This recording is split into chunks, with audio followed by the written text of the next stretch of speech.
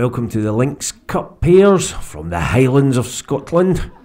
Three day event. And well, golf doesn't get any better than the Highlands of Scotland, in our opinion, although it can be a little bit chilly, especially at this time of year. But, uh, well, Lars Arnason, he's come all the way over from Iceland. He knows about cold weather and he knows how to warm up. Boy, does he know how to warm up.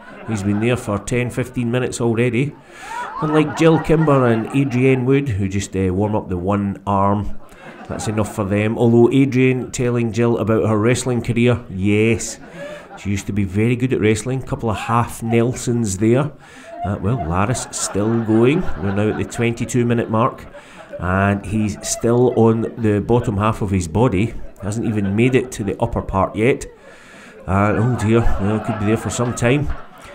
I hope that fence is well made. Well, of course, these uh, courses running alongside beautiful beaches here on the northeast of Scotland. And, well, some of the staff, the starters, keeping an eye on things, making sure that things are moving along, moving along down the beach. Well, isn't it amazing how the locals get used to the temperatures here? Well, I've got a jacket on, so does this lady, but, uh, well, the locals on the beach. Uh, well, good news 25 minutes in, and Laris has moved to the upper part of his body. And well, that's an Icelandic warm up. This, a good old fashioned British warm up. Mick Kirby, cigarette, ready to go. Lovely stuff. Now, down onto the first tee. Opening drive of the week here at Brora for Andrew Robinson. Well, he's a powerful kind of player. It's a short par 4 and he is going for the green and the right hand side of that picture you can see the ball and he's on the green. He's made the green. Unfortunately that's the 17th green.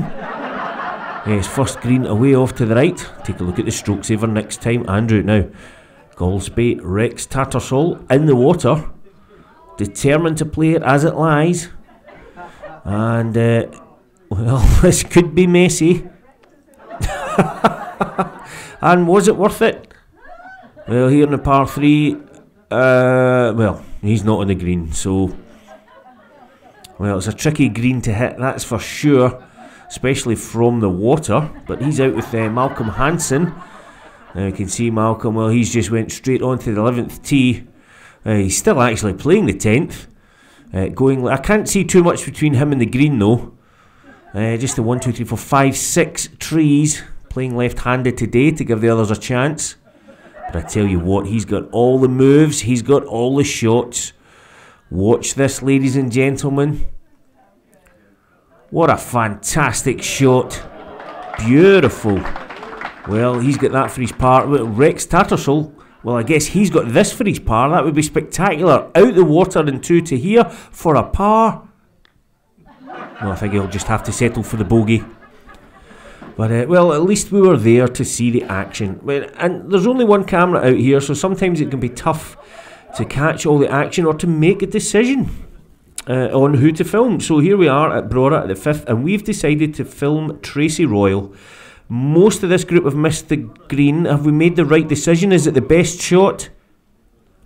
Uh, I think we had the cameras on the wrong golfer there, just for that shot. Uh, not quite so close as her playing partners there, Tracy.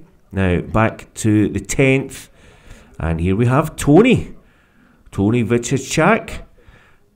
And, well, a little way from his playing partners off to the right there. Tony, well, he doesn't come alone to these tournaments. Uh, yes, everywhere he goes, he has a ball spotting team. Even if he's only going to duff his tee shot 50 yards into the heather, they are there and ready to find that ball, although they're not doing too well, I would say. Uh, I don't know if it went as far as that. Now back to Brora, the first, Jill Kimber. In the middle of the fairway. This is the start to her week. And, well, despite receiving plenty of instructions from Steve Kimber, that's a wonderful shot. She's kept things together and every chance of an opening birdie. Uh, oh dear. Well, not the same can be said for Dave Bamford. He is in the bunker, and fair to say that's a bit of an awkward lie, I would think. Uh, Dave's pre-shot routine going on almost as long as Laris's warm-up. Oh dear. Well, we need to cut away to Steve Kimber. Now, Steve, ball setting up nicely. Nothing to put him off. Ready to go anytime. Well, except that Jill played a great shot. Yes, she did. Oh, and he's worried about trying to get closer than Jill. There's a lot of bragging rights going on in this couple. And I'm not too. Well, we can go back to Dave. I'm hearing that Dave is just about ready to play. Just to get out this bunker. That left foot getting lower and lower. Oh dear, didn't quite make it. Yes, he rushed it. That was the problem. He should have taken his time, just like Steve. Steve certainly will not be rushed. Oh, but he's off. He's gone. He's hit the ball. Was it worth the wait? Oh, it certainly was. What a fantastic shot. Great stuff there from Steve. Unfortunately, though, the referee's rules have been out and he's already got a two stroke penalty for slow play. And he's only halfway down the first. Now, out to the sixth, the par three, and it's all about local knowledge. Yes, Jackie Wade there with the kind of pitch and run with a driver and very nearly hitting the flag. Well, it's run on a touch, but that is a great tee shot there from Jackie. And, uh, well, Liz Robinson, she's on the 13th, and that's quite close actually to the 6th. And she saw Jackie's tee shot and she thought, well, I'll have a bit of that. Let's land it short and low and run it onto the green. Unfortunately, uh, Liz's local knowledge not quite so good. Yes, there is a water trap down there. And oh dear. Well, it'll be a good par from there. Now, well, what all golfers look for in their game is consistency. Now, on the left, we have Daniel Wise. On the right, we have Daniel Wise. Now, why are we seeing two tee shots exactly the same? That's just to show you Daniel's consistency. Both times, miles off to the right. Yes, and good par from there. But at least he's consistent. Absolutely consistent. Big, huge slice every time. I would aim left if I was you, Daniel. Now, Ian Thorpe has missed the green on the 10th at Golspie. But no problem to a man like that. Beautiful little chip down with his second. Yes, I can tell you, he got his four. Now, out to the sixth on Brora.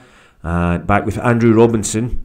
Now, he's not got much room between that bunker and the flag. If he's going to float it over, he'll be doing well to stop the ball. If he gets it over the bunker, to stop it short of the flag.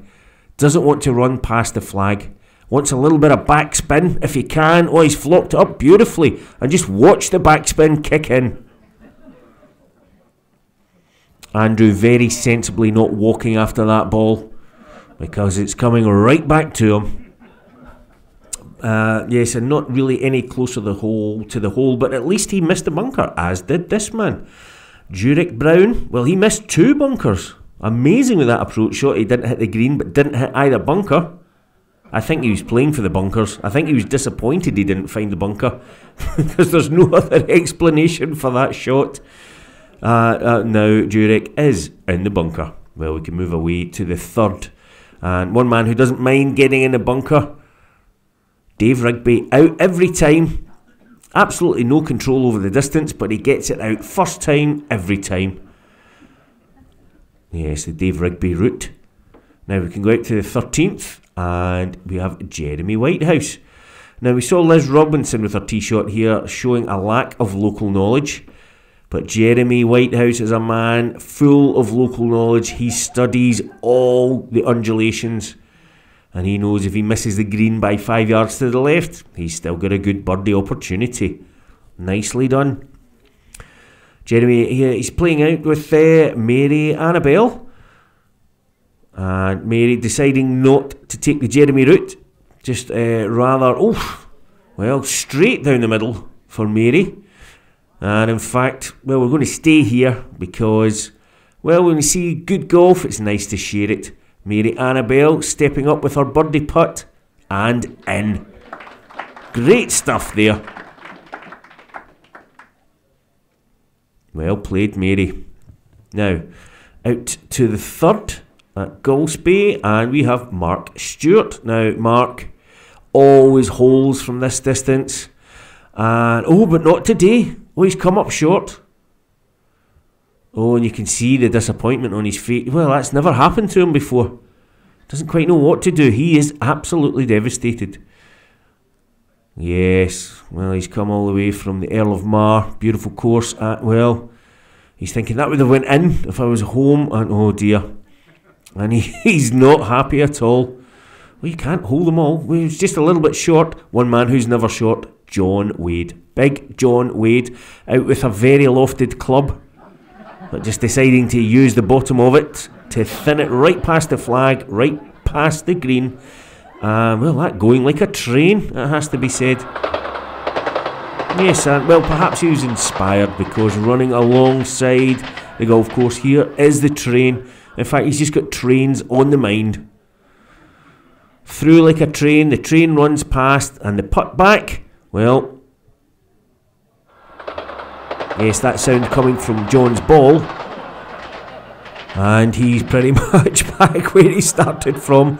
Uh, well, hopefully his playing partners will see him through it. Uh, speaking of which, Mark Stewart is looking for some uh, support after missing that putt from his playing partner, Richard Sloss. Come on, Richard, a couple of words of encouragement. Just. just well, no, they're both disappointed. oh dear. I think we should move away, yes, to the ninth at Brora, par 3. And, well, Rab Jackson on the tee. Uh, he's landed it short and on it rolls and on it rolls. And I can tell you, look at that. We saw some spectacular stuff here at the ninth.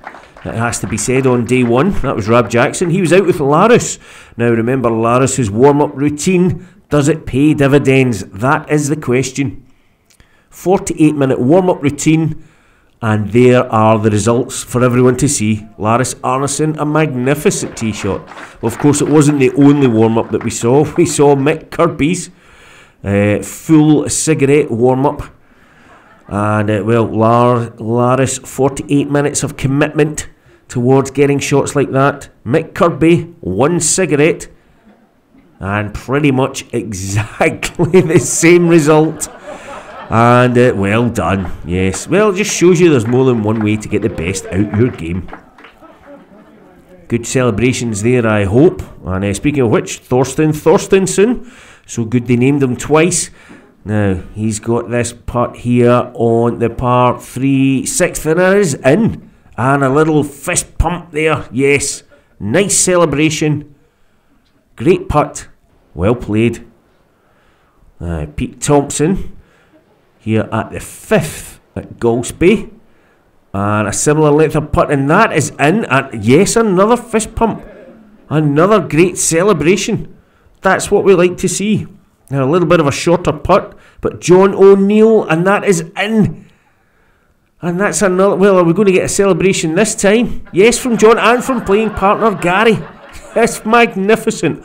All those putts were for sevens. Great celebrations. But here we have a putt for a birdie.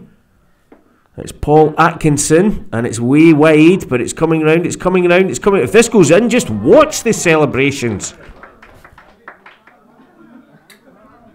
Uh, no, well, he's just playing it down. Well, I guess it's not as if he came from a tricky lie in the rough or anything. Oh, speaking of which, Daniel Wise, tricky lie in the rough. Uh, that lie is getting slightly better all the time. You can see he ran out of his own golf balls and had to start borrowing from the range. Uh, well, that lie is getting better and better. Well, Daniel knows how to. Yes, well, it's preferred lies on the fairway. I'm not too sure if this. Well, there's been a lot of rule changes in golf this year. I'm not too sure if this is one of them. Uh, but you, well, you've got to watch if the ball is sitting up that nicely now, Daniel. Um, you could get a good clean hit onto that. Nothing between the club face and the ball. Well, he came up short in the par 3 sixth here on Brora. What can he do with a nice teed up lie? Daniel Wise. what he can do is absolutely murder it. A hundred yards away past over the green. Um, well, the camera's not quite catching it, so we're just going to show you exactly where that ball ended up. And as Daniel Wise takes to the marathon that is collecting his ball, it's time to say goodbye from the Links Cup pairs from the Highlands of Scotland.